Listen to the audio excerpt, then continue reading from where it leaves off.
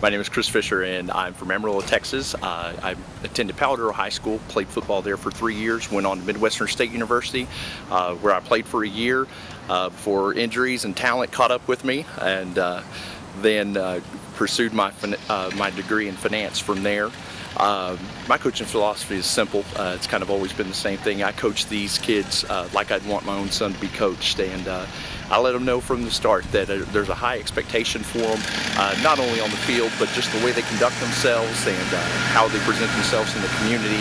My job, I feel, is to get them ready for their next step, whether that's playing football or just attending classes at a university. I want them prepared by the time they leave me that they're ready for the rest of their life.